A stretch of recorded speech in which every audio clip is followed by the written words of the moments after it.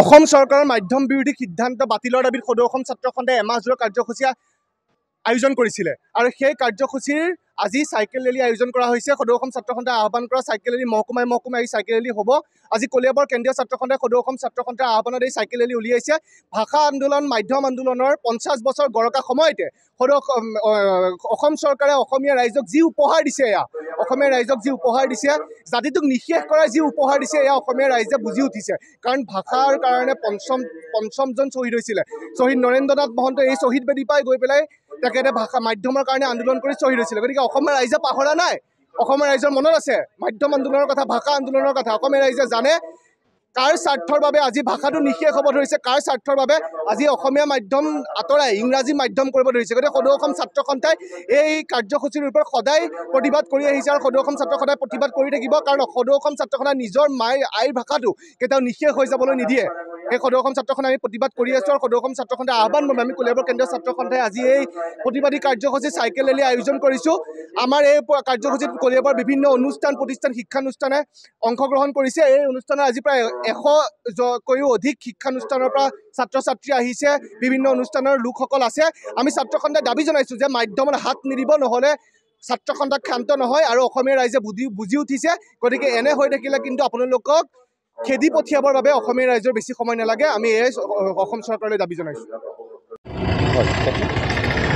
ইতিমধ্যে গম পাইছে সদৌ অসম ছাত্ৰ সন্থাৰ আহ্বান ক্ৰমে আজি কলিয়াবৰ কেন্দ্ৰীয় ছাত্ৰ সন্থাই বড়ো মাধ্যম আৰু অসম মাধ্যমৰ যিটো শিক্ষাৰ ব্যৱস্থা চৰকাৰে লৈছে এই এই ব্যৱস্থাটোত অসমীয়া শিক্ষাৰ যি ব্যৱস্থা আমাৰ মানে অসমীয়াৰ শিক্ষা ব্যৱস্থাত আমাৰ সদৌ অসম ছাত্ৰ সন্থাই যিটো আমাৰ শিক্ষাৰ ব্যৱস্থা লৈছে। সুৰক্ষা দিব লাগে। অসমীয়া আমাৰ অসমীয়া যিটো ভাষা ভাষাক সুৰক্ষা দিয়াৰ স্বাৰ্থত আজি অসম ছাত্ৰ সন্থাই এই কাৰ্যসূচী আৰম্ভ কৰিছে।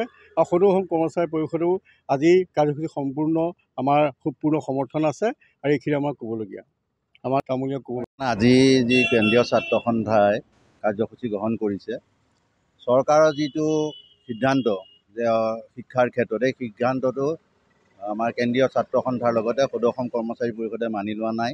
কাৰণ তেওঁলোকে তৃতীয় শ্ৰেণীৰ পৰা ষষ্ঠ শ্ৰেণীলৈকে যি গণিত আৰু বিজ্ঞান ইংৰাজীত তেওঁলোকে দিব বিচাৰিছে এই ক্ষেত্ৰত অসমীয়া ছাত্ৰ ছাত্ৰীসকল বড়ো ছাত্ৰ ছাত্ৰীসকল বা জনগোষ্ঠীয় ছাত্ৰ ছাত্ৰীসকল বহু বিপদৰ সন্মুখীন হোৱা আমি পৰিলক্ষিত হৈছে আমি দেখা পাইছোঁ। গতিকে যি অসম চৰকাৰৰ সিদ্ধান্ত এই সিদ্ধান্ত বাতিল কৰি আমাৰ অসমীয়া মাধ্যম আৰু বড়ো মাধ্যম আৰু জনগোষ্ঠীয় মাধ্যমসমূহ সুৰক্ষা দিব লাগে। কেন্দ্ৰীয় ছাত্ৰ সন্থাৰ লগতে কলিয়াবৰ ছাত্ৰীয় কেন্দ্ৰীয় ছাত্ৰ সন্থাই যি আজি চাইকেল ৰেলী সহযোগ কৰিছে উলিয়াই লৈ গৈছে তাত আমি কৰ্মচাৰী পৰিষদে পূৰ্ণ সমৰ্থন জনাইছোঁ আৰু চৰকাৰক আমি আহ্বান জনাইছোঁ যেনে এনে সিদ্ধান্ত বাতিল কৰি ভৱিষ্যতে অসমীয়া জাতিৰ সুৰক্ষাৰ ক্ষেত্ৰত অসমীয়া মাধ্যমত গুৰুত্ব দিব লাগে। ধন্যবাদ। হয়